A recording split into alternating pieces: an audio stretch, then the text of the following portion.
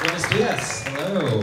Uh, it's, it's really great to be here. Yeah, I think we're going to have a, a really excellent conference, tons of great speakers, um, and really excited to, to open things up for you guys. So, uh, I wanted to talk to you about doing user research and doing it really quickly, uh, being efficient, and getting creative, uh, or enabling your creativity and, and spurring innovation. Uh, but before I do, I want to talk a little bit about like where this talk came from, because it the, the roots of it happened many years ago when I was living in Washington D.C. Oops, playing with my clicker here. Okay, uh, don't want to get ahead of myself. So Washington D.C. This was my home. Um, this was during the, the massive snowstorm called the Snowpocalypse or Snowmageddon and uh, and I was clearing out snow from, from my pathway there. And I, I remember this because I was working with a client at the time. I was working at an agency doing website design and research, and we were working for a theater company. Did performances, and they were going through a website redesign and um, a redesign of all their collateral. And I was responsible for doing the user research, and doing, do, doing the design, uh, and so we were looking at their homepage. We were talking to a variety of people, talking to donors, people who were um, giving money to the theater, volunteers who were helping out, run the theater, and of course, um, educators uh, who were there and um, hoping to educate their students on what the theater was doing. Anyway, so we did lots of work. We interviewed people. We did usability testing, and we learned a lot of great things a lot of great things that we put into 25 pages of analysis. This was like quotes, usability findings, competitive reviews, heuristic analyses, all these great research activities. So we had a lot of recommendations. And like if we looked at all of them in aggregate, aggregate there's this large circle, and let's just think about like that's everything that we wanted to do. Here's all the awesome things that we want to do for this theater company we had uh, a talk with the client, we sat them down, had a workshop, went through all 25 pages of our analysis. They said, yo, there's some great stuff in here. Some things, uh, not so feasible, maybe we need to wait on them. But overall, decided on a group of things that we wanted to do. Now, a couple of months later, skip down the road, we're about to, to launch the redesigned website for the theater, the new experience, and if we're looking at all the changes that were a part of that redesign, like it was only, wait for it, wait for it? Uh, oh no. Hold on. Sorry. Uh, here, maybe I'll just use the, the keyboard. Ah, okay, this is it. This is it. This is good. Okay, so this little blue circle is what we actually did, right? Like, so we had a ton of stuff right here that we agreed on that were things that we wanted to do, right? Things that the client said, yes, like these are things that we need to do. Everything from like changing the, the way that the image style rendered on the page to completely new navigation categories. But only a fraction of those actually got done. And the fraction was important because those were missed opportunities. And we didn't implement things that could have increased donations, that could have been an interactive portal for teachers, all the people that we talked to, all of our learnings, I mean, sure, we did some really useful stuff, right? But there were missed opportunities. There was stuff that just didn't happen. And that's what I want to talk to you about today, is, is how to seize these missed opportunities, how to get inside that piece of the pie and do user research that really moves the needle. Now, like you might be thinking, like, John, you had it really good. Like, like you had a budget you had the time to do user research, you got to talk to all those groups of people. we don't even get to do that. Like our, you know, we don't have the money. We we just simply don't have the infrastructure. And, and I hear these things, and, and I felt these things, and that was a really good case, right? That was almost as good as it gets of, of having the resources to be able to do user research. So I've heard a couple of things. It's expensive, right? Either time or, or money, right? Whether you're in-house doing research or whether you're at an agency, budgets get squeezed. Or maybe you don't have usability testing labs. Maybe you don't have someone who's on your team who's like a researcher. How many of you guys are researchers? Like you have, that's like in your title. Just a couple, okay. And, and how many of you guys are designers? Okay, so a couple more. Good, good. This talk is for you. All of you. So what else have we heard? That it's unnecessary. At Google, we like to throw a bunch of stuff at the wall and see what sticks. You, you might have noticed some of the products that we've rolled out, we have to, you know, sunset and um, kind of like take off the market. And I don't think that's necessarily the greatest thing. Um, but and I think that sometimes when this happens, it's rolled up into this attitude of, we don't have time for this. We just need to get something out and see how the public reacts to it. See what our users think about it. Right? It's just research is just unnecessary in our process because we're going to get that data in beta. Sometimes that's that's what I've heard. What about another reason? User research. Well, it's limiting. And, and it sounds like a, a lot of you guys are, are designers in this room. And, and I'm sure you have that feeling, or at least you've heard others say that, well, I don't want to be data driven, right? Like, I don't want to test 40 shades of blue and have to make a decision about what to do just on that data alone. I want creative authority. I want to be able to make decisions that aren't necessarily like just derived from user data. Okay, so those are three things that we talked about. We talked about expensive, being unnecessary, and being limiting. And these are the things that, that I want to address. So I, I want to introduce you guys to, to two main areas. One are methods. And I want to I want to go over some things that I think that you'll find helpful, some things that you can do starting right now, tools that you can use that would be awesome. But it's also how these tools come together. It's more than just saying, hey, go out and use this website or hey, like, do usability testing like this. I think it's it's more about the process by which you combine these things. It's like baking, right? Like you have the raw ingredients, you have the eggs, the flour, the butter, but unless you have a recipe, you know, you might get into a food fight, right? You might use things not in the most effective way possible. So that's what I want to talk about too. I want to talk about how methods come together. And I think in order to, to be able to do this, there's three different areas that we need to rethink as designers, as researchers, as UX professionals. We need to dig into and deconstruct a little bit. Okay, so those three, three main areas. Um, and, and you can call these, like, think about these as like myths of UX. So things that aren't necessarily true, conceptions that if you want to be lean and efficient, we gotta rethink Research is, is just a few people's jobs. Just one or two people are like, few, like an agency's job. We're paid to ship, meaning like we're paid to launch products, features, and then build first, then research.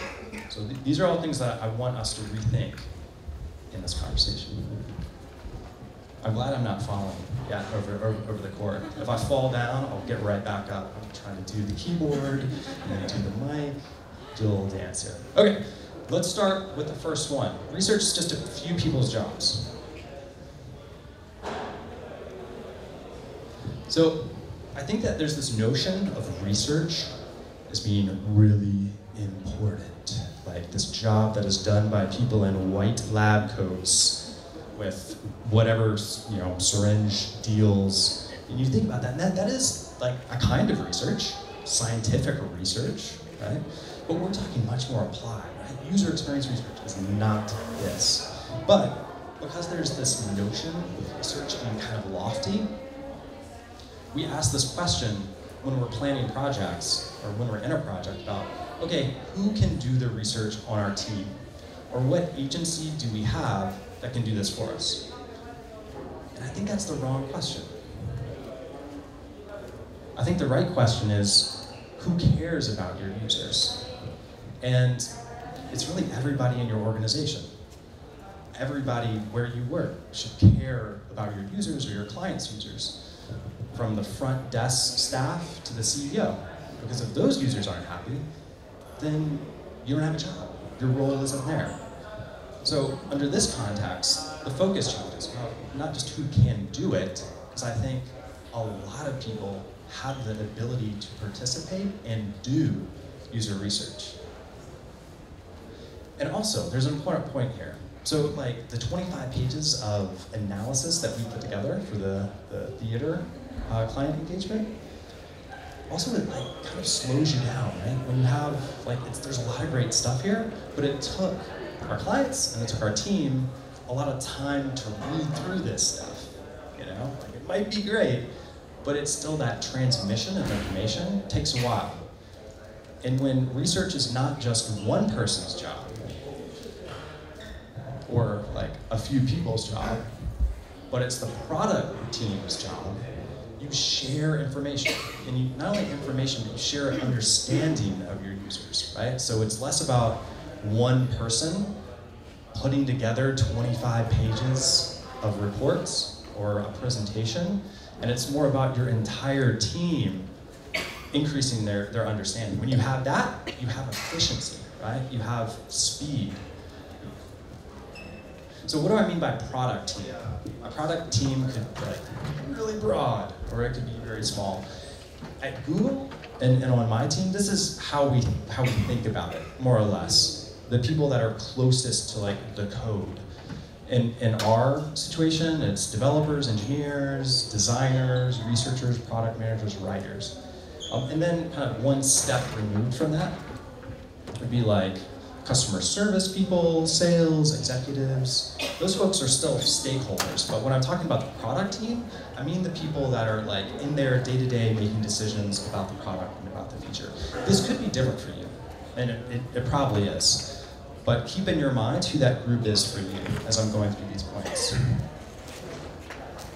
Okay, so like what are the jobs of a researcher? And if if you are a researcher, then you might be more familiar with these. If you're not, then maybe you've been a part of them, maybe you've been on the periphery a little bit, but you know, it's, it's pretty basic stuff. You plan, you execute, like moderate like a usability inter, like a usability test or an interview, um, and then you analyze everything, and by evangelize, I mean distribute the results, share what you found to stakeholders, stuff like that. This is traditionally how I think most teams do it where like there's a researcher who does all these activities, who plans it out, yeah, like gets input from people, but I think that there's a difference between getting input and having the team actually perform these roles, right? Like actually like write the plan or write the, the moderation guide and, and those kinds of things. So this is what traditionally happens. But what I'm advocating for is where you take that product team and you put them in roles that are typically done by one researcher or a team of researchers. And we'll talk more about like ways that you can actually do this and like tools that are really good to do this. But again, like why? Why is this important? It's because you're increasing understanding. You're minimizing deliverables because you're getting everyone on the same page because, because it's, it's not just your research, it's the whole team's research right? Like there's more buy-in, there's more ownership if you decentralize this role that's traditionally been just one person, one group of people. So I want to um, share an example, and uh, it's one that's kind of something that I'm going through right now, uh, a personal one, and I'll bring it up several times in the presentation. But I, I think it's kind of an interesting one. Maybe we can apply some of this stuff to it hey, there I am. Uh, and there's my six week old baby. He can never pose in a family photo like smiling. So I'm like, screw it. Do You want to cry? I'll cry. And, and that's what I'm doing here. I'm actually very happy, but just doesn't look it right here.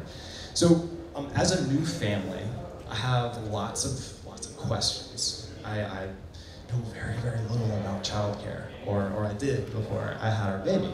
So my wife and I have been going to this place called Natural Resources, which is a shop. And they have classes in the back of the shop and stuff like, um, you know, how to nurse your baby, how to, like, what diaper rash looks like, understanding poop colors, which is like a big deal for babies. Like if you haven't had a baby, like understanding poo is like an entire like day-long class. It's, it's amazing. Okay, so we learn about these things, right? And like we discuss in, in groups of other parents and people in similar situations as us. So the classes are great. I've been learning a lot, but the, the online resources and their technological proficiency is god awful. So I'm sitting here in these classes, and like one side of my brain is like, taking information about, okay, what do I need to, to learn to be a good father, to be a good parent? And then on the other side of my brain, I'm like, how can I improve their UX? What can I do? Oh my God, John, like help the world, help them, you know, help other parents. So, so I'm like, okay, screw it. Like I'm putting together this presentation. Why don't I use that as a use case? Why don't I say like, well, what could they do better in a lean research way? So that's what we should look at right now. So one of the questions that, that was occurring for me when I was in these sessions is like, you know, once we're done with the class, like there's a whole, like there's nothing that happens afterwards. There's a whole community of like parents sharing tips, but natural resources, this group, doesn't do anything with it. There's no mobile app, their site isn't really good, there's no way to connect people after that class So I was like, well, how can we do that? How can we connect people and and members like myself to like share more and learn from each other? So like one of the a method that I think works really well is looking at prototypes. I'm sure many, most of you have done this before, developed a prototype and then tested it. Know, usability testing, user interviews. But I think that there's a step before that a method that, that's worked really well for us and could work well for natural resources. Your, your competitors are the best prototypes that you could start off with. Like if you're just, if you have an early idea, maybe if you're just iterating on features that have already been created, using your competitors is a, is a great way to find out what works about the design patterns, about the, the design language, the interactions, the terminology that, that you might want to include. And these don't have to be direct competitors, maybe they're indirect. But in the case of natural resources, there's a ton of competitors. Like if you go to the App Store, you go to the Play Store, there's this one called like Smile Moms, which is an online sharing platform.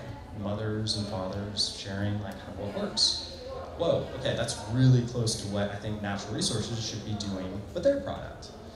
So looking at your experience, like what you would want to do, um, and comparing it to what your competitors do, and treating them as prototypes in the same way that you would treat your own prototype if you developed one out, is a really great activity and a great starting place for being lean in your, in your research approach. So whereas before, if you had one researcher, maybe their job would be to, okay, here's the task, we're going to go over here's um, how we want to look at this competitor.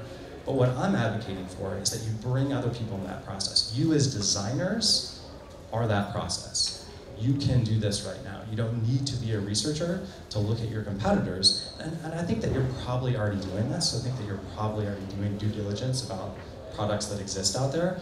But the next step is putting users in front of your competitors and assessing their reactions and assessing how well they can complete tasks. So in the case of natural resources, maybe the task is like, um, find out what healthy poop looks like, you know, like baby poop.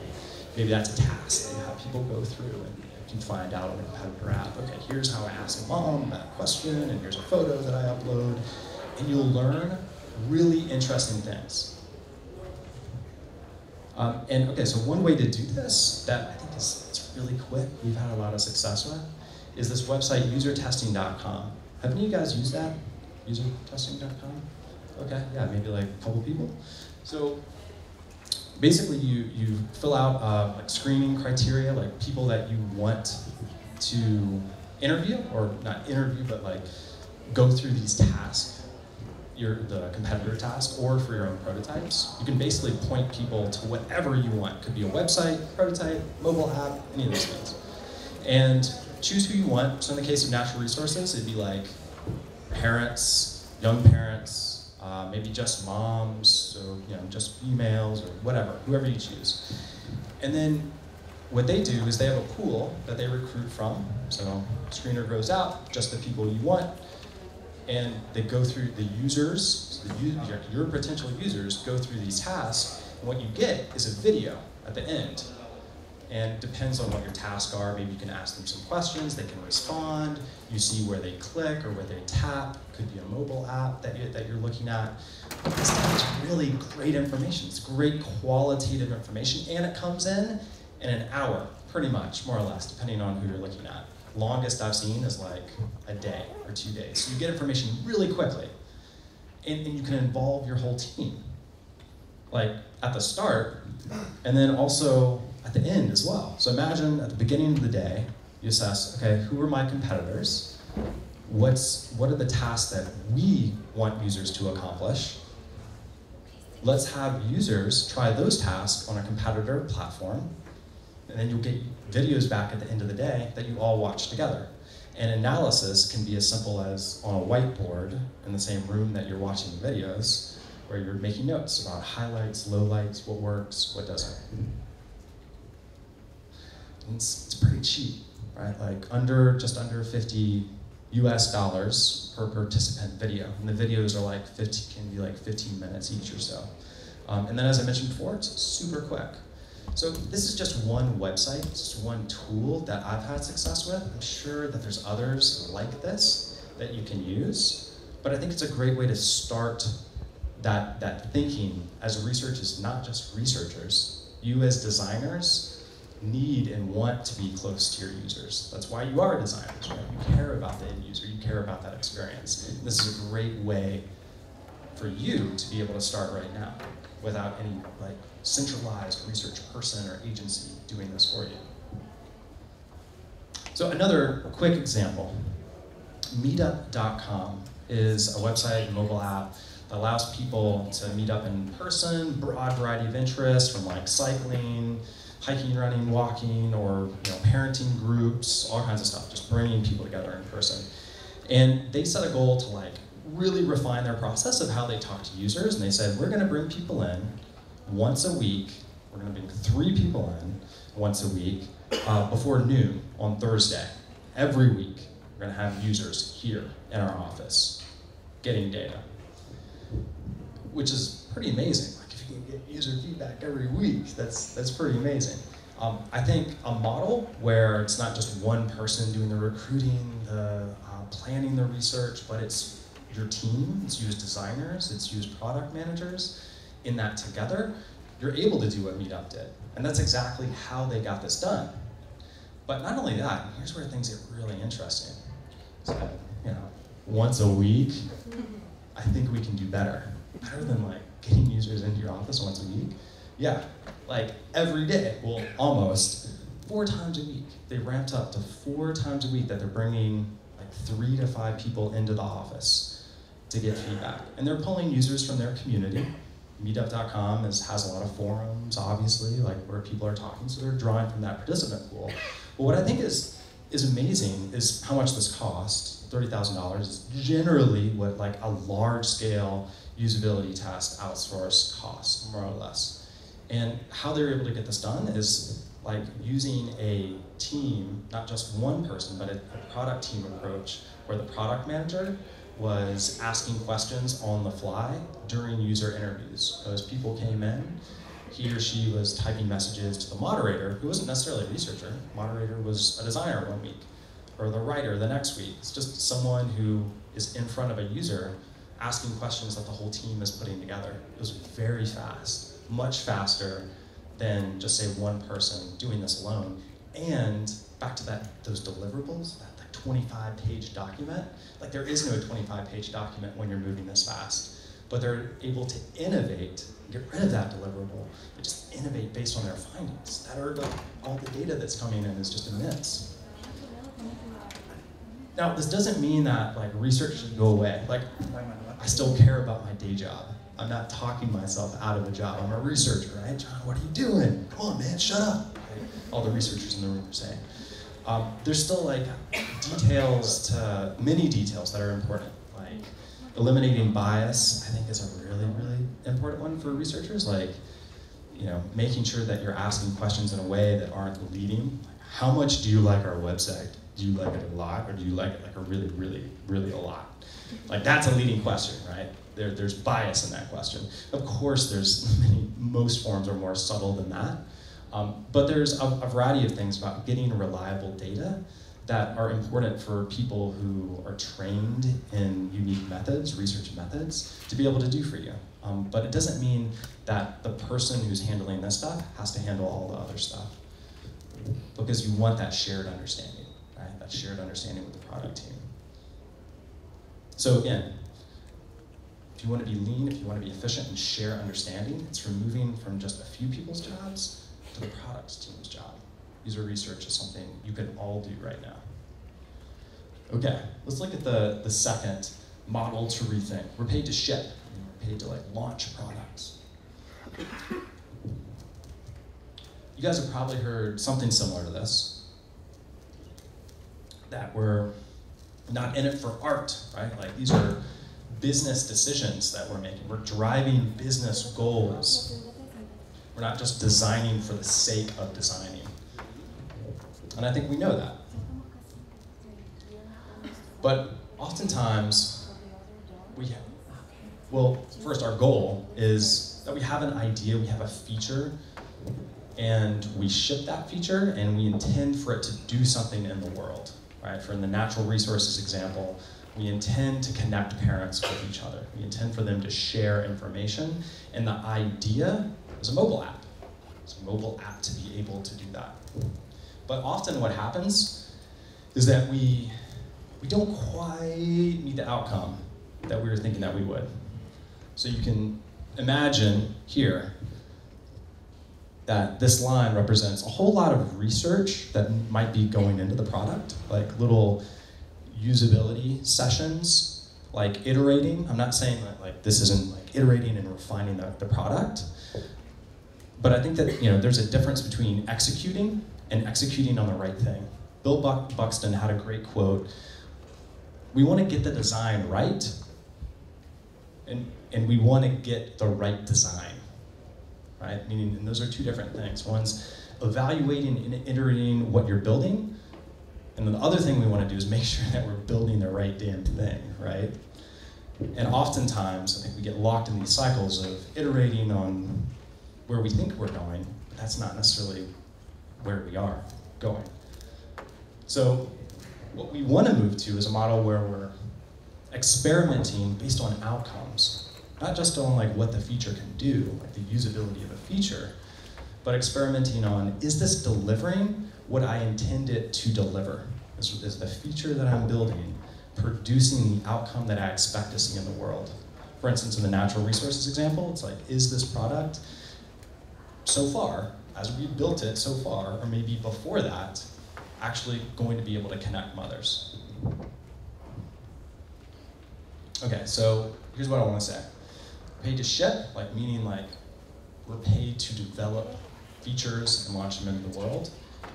If you want to be lean, if you want to be efficient in how you're collecting user research, then we need to think about we're paid to experiment. We're paid to design and research experiments. Now, I'll talk about what, what exactly this means.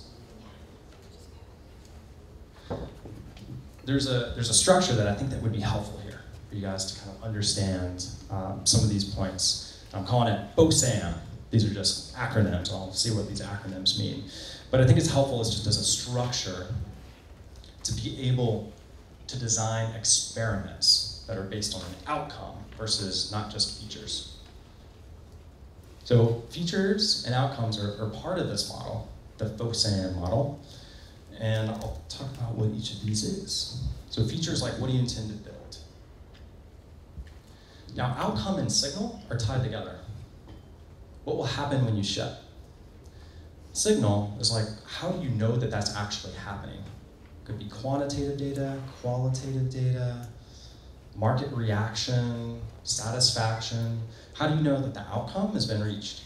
And, and this might seem like the same thing, like outcome, signal, seems like kind of related, but not necessarily, right? And often they're not. If you want to do something like increase user engagement, want to have people jump into your app, be happy and satisfied and all those things, like how do you determine if they are if that is in fact the case? Is retention one of those things? Are users coming back to your app? Are they reacting to notifications? Maybe that's increase and increase of engagement. Are they, are they enabling notifications? Maybe that's an increase of engagement. There's lots of signals that could reflect an outcome, right? So focusing on outcomes and signals is, is part of this model. And then the last part, assets and method. Now notice here that I'm not saying designs. I'm not saying that you're researching designs necessarily. Assets could be a broad variety of things. Could be just content. Could be just words that you're looking at. Whatever helps to validate that signal and that outcome is important. And then the method is like how you go about that. Okay, let's make this real. Let's look at natural resources again as, as a model. Let's say that natural resources did want to build a new app, mobile app. Okay, so that's the feature, the entire app. Now we want to think, what's the outcome and what are the signals? Like what is that app intended to do? What happens when it actually ships? Well, like the goal for natural resources is to increase membership rates, to get people in the door using their products. Okay, what's a signal that this is happening? Well, there's plenty of signals I'm sure they could measure. They could measure visitor traffic, they could measure class enrollments, but like for this app, for this feature, like the mobile app, like how do they know that the, that the outcome is going to be effective? Well, a great signal would be that like potential members, people who aren't using their services, are at least interested in something like this, like an online community, right? Like that's validation of the outcome right now before you even, before they even started building anything, those are some outcomes and signals they could look at, or an outcome and signal. So how do you do this? Like how could they, how can you assess, do, does our potential audience actually want this or not? Well, assets that you could use are survey questions and use Google consumer surveys to launch a survey. One of the, one of the reasons I'm talking about Google consumer surveys isn't just because I'm from Google, but because it's actually a great tool and it's so cheap. It, have you guys heard of Google consumer surveys before? Yes, just a couple people. Um, it's like a survey wall. If you visited um, websites like this, like the Daily Tribune, you see an article up there, and users see uh, one question or a series of questions that they answer before getting to that content. So it's a way for um, publishers to put not ads, but survey questions that you can release to them, right? So it's very quick for users and rates of response are, are really good on these. So it allows you to get data really quickly. But what, it, what does this look like for natural resources? So you go to consumer surveys and you fill out who you want to reach, who you care about. In natural resources, their potential users are like here I just filled out, you know, broad range of people, Android smartphone users, and then I, and it's going to be kind of hard to see what comes next, but I'll just tell you what I, I actually went through and I, and I did this survey because I was kind of interested in it. I was like, would potential natural resource members be interested in an online community? So I actually went through and filled this out and, and did a survey. Um, and so I asked, my first question was, are you a new parent? Like, do you have a child age zero through two, or are you pregnant right now? So I kind of screened out people, looking at like, and you could do this with your products, like who exactly do we want to reach? And then I asked the question, and you guys can't see this, but ask this question. Um, what's the most important for you? Most important for you as a new parent? Learning from other parents, discounts on child-related items. There's a couple of other other things in there. Um, but the most, like the one that I was like curious about, the one that I really wanted to see if we could move the needle on was learning from other parents online, right? That's a signal for how well this mobile app is going to be received, even before we started building anything. So what we found was that people love discounts. Show me the money. Discounts on child related items. 43% of people said that that was most important to them as a new parent. Now, what's interesting is that the one I was expecting, like, okay, an online community for parents to share, to get to know each other, uh, it wasn't number two, it wasn't number three, it was number four. About 10, only 10% of people saying that that was the most important thing to them. And you can see these, these bars right here represent statistical significance. There's like a lot of modeling that goes in behind that, but it's just a way to say that if we were to run this again, we'd, we'd probably get these results, and these results are statistically significant. Um, and there's more questions that you can ask here. Like, it probably raises questions for you. Well, uh, like, you know, do we do care about parents that that young? Like, do, you know, can we alter this a little bit? And those are great questions to have. But this is guiding even before we built the app, right? This is looking at the signals that are going to reflect, well, well is this, are we going to get to the outcome that we want? And I would argue that if I was building an app for natural resources, that we do things like include more expert advice or like make that one of our primary features. That we make meetups in person really important in the feature that we're building. Okay, and so again, Google consumer surveys, you get a lot of responses in a very quick amount of time, um, and it doesn't cost that much. I mean, this is like 250 US dollars compared to like surveys of this scale cost thousands of dollars more than this. So we're paid to ship, we're paid to experiment, right? To design experiments that get at what are the right signals and what are the right outcomes that we're building towards. Okay, last section. Build first, then research. There's an interesting um, story of color, which is an application that was designed to bring people together around photo streams that were sharing photos in the same place. There's an interesting rise and fall of the app called Color. It looks some, something like this. It was released in 2011. There was a lot of fanfare. They raised $40 million before they launched. So there was a lot of hype. Like the idea was you know, people were really excited about this idea. They launched, and then a year later, they were done. Not sold, not acquired, not transformed into something else that was beautiful. They were done. And part of the reason why is because there was a fundamental difficulty with their execution. The idea was great. In fact, the idea itself is something that many other apps are doing even iPhone photos has like a photo stream, right? Like these notions of sharing photos by proximity and by the people that you care about, of course, that's, that idea is golden. But how they executed it was not right. Um, when you weren't around other people, there was nothing to do on the application itself. Like, so if you're taking, like, when you open it up and there's no one else around, there's nothing to do. So they were, they were executing towards an outcome but they, they just studied the product way too late. If they had gotten this in some form in front of users before they had actually started to build, the founder would have gotten to this quote a lot sooner. And this is at the end of their product development phase, right? Like, oh my God. So focusing on the, the outcomes and the signals, we mentioned this in the last section, is really important to do to avoid the, the demise of apps like Color. So build first, then research. Define your signals first. So thinking about like one piece of this, as we mentioned in the last section, is designing experiments. You're not just designing features, you're designing potential outcomes. And to get to those outcomes, you can de define the signals. You can, you can innovate how you think about like Well, what will tell us that this outcome is being achieved? So let's just say the natural resources example again. Okay, rich sharing app, the feature is a you know, rich sharing app. The outcome, make sure that members are, are connected to each other. And then a signal here might be like 20 cent of 20% of current members sign up for the app. Well, how do you know this if you don't build it?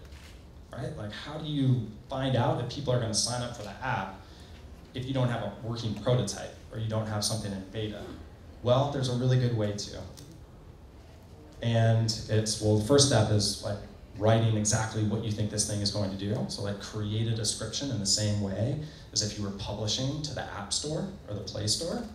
So that, and you don't have to like have screenshots and all that. You could, but just like think about that description and value propositions. And then use what I call a teaser. Like on the natural resources site, there's places like classes and places like blog that their current members are going right now.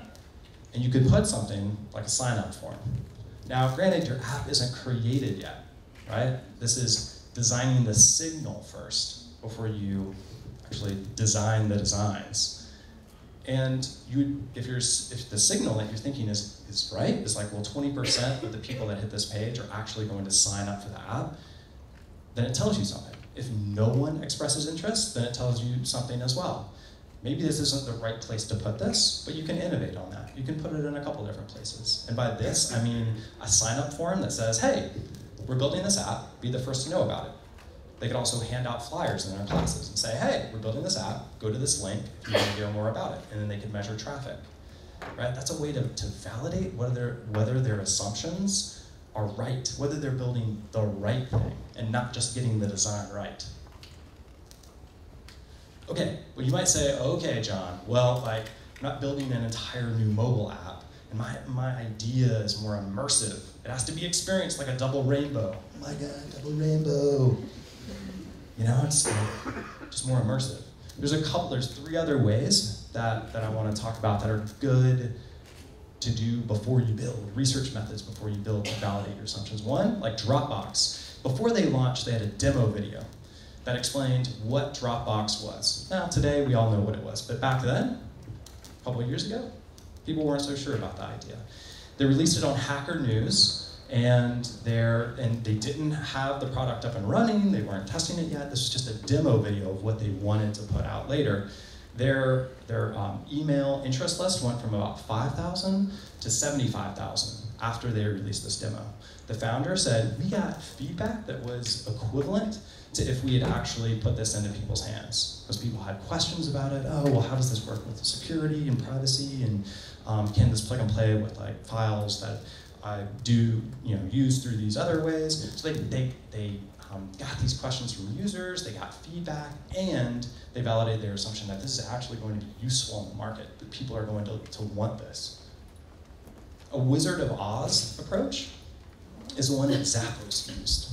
Their founder uh, Wizard of Oz means kind of like, like doing stuff behind the scenes, like the website is working, but it's actually just a person, like a little hamster on a wheel, just running away. It's not a database. Zappos founder went, like, he didn't have a, he had a website, but he was going from shop to shop taking photos of shoes and then putting those on the site. And then when someone made an order, he would go back to the store, buy the shoes, and then send them. So there wasn't like a database, there wasn't like customer relationship management. He literally just was doing all this himself. Why did he do that? Well, it was a signal. If he put the website up, if people thought that this kind of immersive experience with high quality photos and great customer service was, was a great thing, then people would buy shoes, and they did. Okay, um, I won't talk about that one. Okay, so define signals, then research. So we've talked about a lot of things. We talked about the FOSAM model, right? Features, outcomes, signals, assets. Using user testing, competitors prototypes, surveys, teasers, what you can do actually before you build products.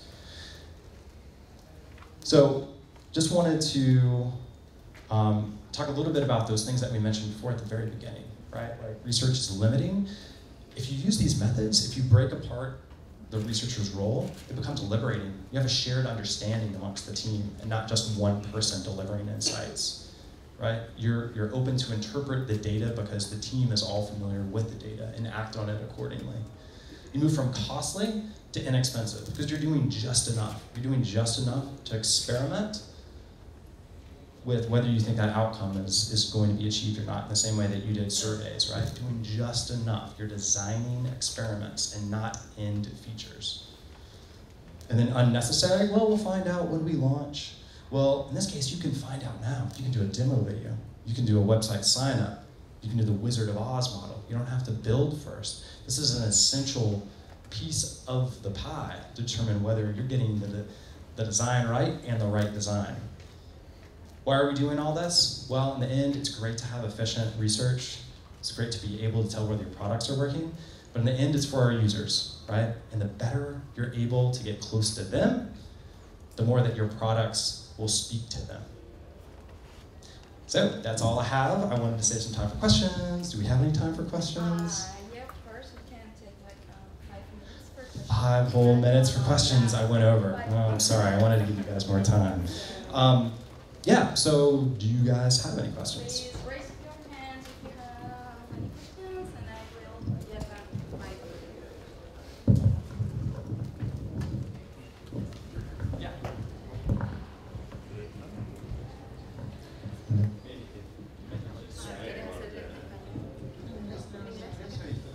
Yes, I really like your presentation. I, I agree with everything you said as a researcher. Uh, my main question is coming from Google, which is, uh, at least I think it is like that, um, engineer driving company. How is to have this conversation with your colleagues and to have people actually doing this kind of, of things? Yeah, that's, uh, that's a really good question. Um, I mentioned before the testing 40 shades of blue. The, um, some of you might be familiar with this example. It's where a designer left Google because they're like, I can't take it anymore because we're just like making choices based completely on data. Uh, I think at Google, we've moved very far away from that. Um, part of it has been like a cultural shift um, in us expressing why design matters. Um, and I think part of expressing like why design driven design, design driven uh, production process matters. Um, and part of uh, the way that you can kind of show, part of the way to do that is by showing success. Um, and when we've implemented some of these methods, uh, particularly like, like one like A-B testing, where you're testing different versions of a, a website, that one I found is a way one that engineers really gravitate towards because it's it's a um, it's dealing with the code, it's dealing with what's live on the site, and it's quantitative, but it also opens up qualitative questions, right? If you if one experiment, if version B measures better than version A, raises these questions of like, well, we know what happened, but why? And that's where a lot of our, our developers and our engineers say, well, I could really use some insights here if I'm going to build what's next and you're going to design what's next. I want to know why. But a place to start is like by asking, we were asking them, hey, could you help with this A-B test? Um, and I'm sure you can find some others that are like qu- quantitative, but uh, they can inform a lot of qualitative decisions. Yeah. Okay. Hi, John. Hey. Uh, thank you for your. It was really interesting. Well, um, my question is about. I think that the goal of involving uh, a lot of people in your Mhm. team and develop them as researchers is very interesting and it's like a, a res- Yeah. a- a- it's a, a goal aim, but my question is how. First, we have to interest people in UX Mm-hmm. and then we have to make I don't know just the minimal education. You, you said something that you you don't want them to bias Mhm. the users in, in interviews or tests. So, Mhm. And some sometimes there are some I interest in conflict, Mhm. and not everybody I don't know it's mm, made that journey that means for, for a researcher or Yeah. UX researcher to to step behind and, Yep. and leave the user to, to talk. So I, I- I wanted to ask you about some strategies to, to deal with this. Yeah, uh, I, I, I, that's, that's a great question. Um, and I, I, think there's oftentimes there's people who have no experience with UX. Uh, well, there's kind of different. I found different categorizations, like people without the experience but with the interest, people without the experience with the capabilities but not necessarily the interest, um, and then folks who are just like doing their thing. Like I'm developing. I don't like. I do back end code. That's what I do. And and I think applying. Um, one really important method that, that I've applied that's been helpful is uh, targeting empathy towards my coworkers. So like, you know how like, we have empathy for users? Like we try to understand users' mental models. I've been trying to do the same thing with my coworkers.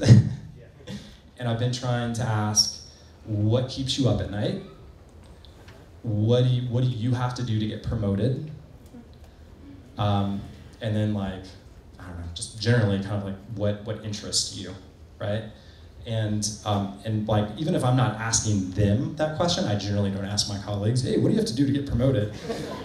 but but I kind of have a like asking myself that question. I have a sense of like, oh well, you need to write damn good code. You need to ship really quickly.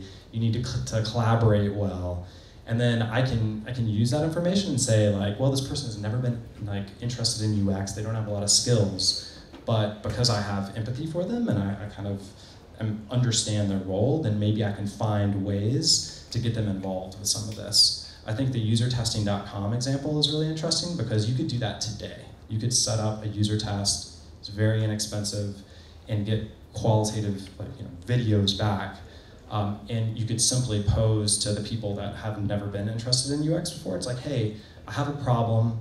Um, I think you would be good in helping to solve it. I want to ask users something. Would you mind like taking a look at these questions or helping me with these questions? Come back later in the day and be like, oh, here's here's a video of the questions that you helped me with. Stuff like that. Like finding like small ways to get them involved and understanding where their interests are. Something I found helpful. Yeah, thanks. Cool, awesome. We have time for one more question. Hey. okay, here. Hey. hey, uh, uh, very interesting.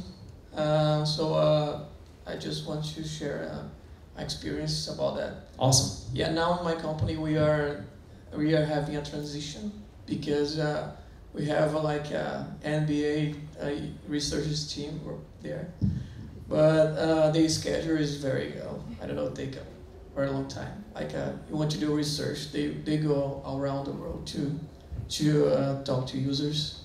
But we have a product that we need uh, like two or three weeks to validate. So uh, now you're trying to, to convince the directors, the board, uh, that we need this. But uh, I don't know if I'm wrong, but about the, the UX researchers, they, they want to do something with very good quality and they don't want you to spend uh, like uh, one week on that. They want you to do the best as possible. So uh, I don't know if in Google you did that, but uh, did, did you have this experience too? I don't know, I have a, a, a quantity, a, a quality or quantity yeah. data, yeah. what, but you have uh, this format of quick uh, research. Right, right. Yeah, so, um, so one, like my experiences at Google are uh, Google is really abnormal. like in terms of like the resources that we have to do research, like we do some some crazy shit. Like it takes time, lots of money. It's great. I love it. It's experimental. But it's not this, right? And, and a lot of people, most people, before I came to Google, I was like, I could barely have money to do like usability testing, much less go around the world and like interview people. Um, so that, that I think is, is one thing to keep in mind if you hear things like, oh, well, Google does this and that. Um, yeah, we do like a lot of stuff, but I think that there's ways to be lean. Um, there's also uh, a phrase that, as, as a consultant and in the agency, like I would always keep in the back of my head. You can have, like, when I was talking to clients, I would think, you know, you can, you can have it good, you can have it cheap, and you can have it fast pick two of those because you can't have all three, right? Like you got to choose good, cheap, fast. Um, and so I think part of that, like by good, uh, you can have all three. In fact, if you narrow your scope to just the right thing. if you're saying we really want quality research, we need to know about users, but we need to do it in a week, you're not going to learn about like international uh, habits of people on mobile, right? That's a huge question to, to isolate in a week. Tablet usage, phone usage versus desktop versus you know contextual use, like all that stuff. That's a huge research question. Maybe you could look at, um, you know, how do people like organize their apps on their phone? How do people in Africa or Nigeria organize apps on their phone, right? Like that's a much smaller question. And I don't know, know if that's a good research question or not. It probably isn't. Like who cares? But like you see my point about like narrowing the scope. You, it speeds things up, essentially. Like, but th- there's no easy solution to the like we want to answer really broad questions and we want to do it like really fast I think in this model, it's like starting off with experiments and segmenting the work. Like we care about this question for the first week sprint, then we care about this question for the next week, and this question for the next week. Because our, our products are, uh, we, we, we launch our product globally, but Yeah. we, we don't have time for like uh, 20, 30 applications or something in one year. So uh, we need we need to to uh, choose a, this strategy, but using the same scope. We need the good, but we need fast. Let's, let's talk after. Okay. Okay, John Douglass, everyone, let's give a Thanks, guys.